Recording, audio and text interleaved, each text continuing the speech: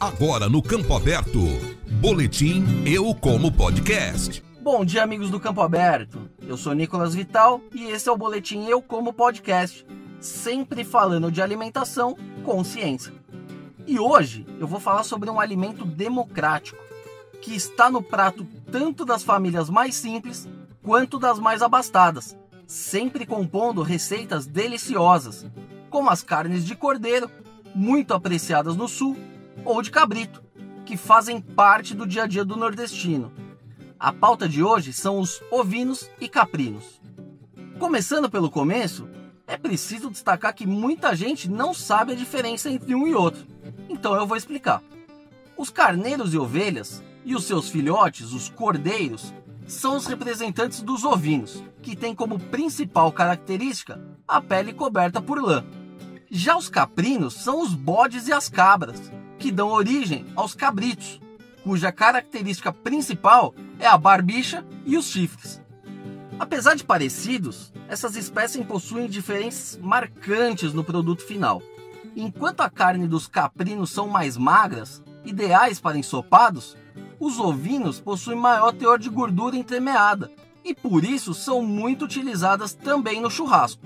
A produção de ovinos e caprinos está diretamente ligada à agricultura familiar, Desta forma, elas estão por todo o país e fazem parte da alimentação de milhões de brasileiros todos os dias. No entanto, o consumo médio no país ainda é baixo, cerca de 600 gramas por pessoa por ano. Apenas como comparação, em países como a Nova Zelândia, o consumo ultrapassa os 4 quilos por pessoa. Com o crescimento da demanda nos últimos anos, o Brasil não é mais autossuficiente na produção cerca de 10% da carne hoje vendida no país, especialmente de ovinos, é importada.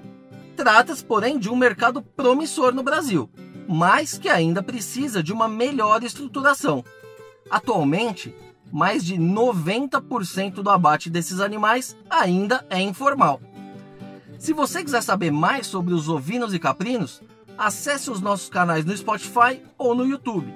Lá tem uma entrevista exclusiva com o médico veterinário Marco Aurélio Bonfim, chefe geral da Embrapa Ovinos e Caprinos, onde ele fala sobre as características dessas espécies, as diferenças entre as carnes, os desafios na produção e o potencial de crescimento desse segmento do Brasil. Vale a pena ouvir. Por hoje é isso e até a semana que vem.